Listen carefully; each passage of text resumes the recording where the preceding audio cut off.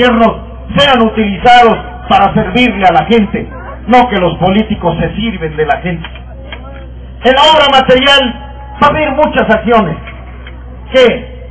Carreteras, hospitales, drenajes, aguas potables, electrificaciones, escuelas, aguas potables, plantas de tratamiento, obras deportivas, todo, todo, todo, espacios culturales, infraestructura hidroagrícola, presas, canales, todo eso es importante, pavimentación.